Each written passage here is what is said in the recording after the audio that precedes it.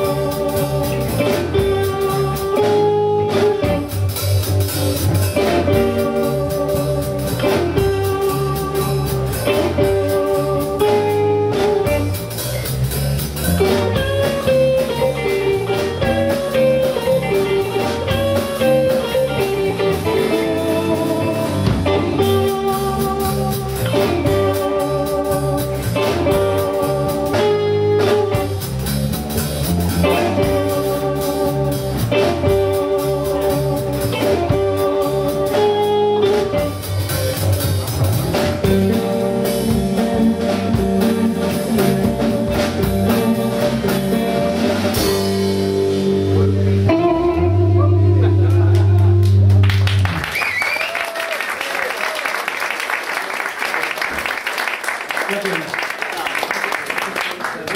た。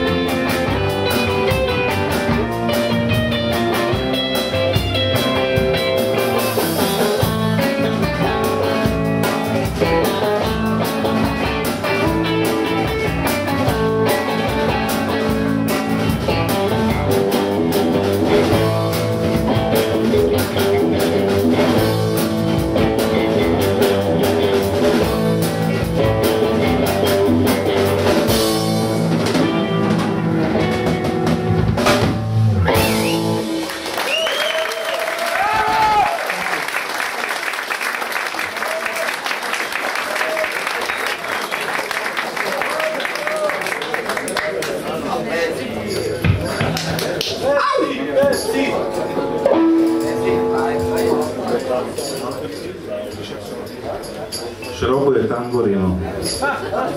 Bude trošku atypický zvuk gitary, ale je korektný dobe a je korektný nahrávke. Zistite, keď si kúpite plat.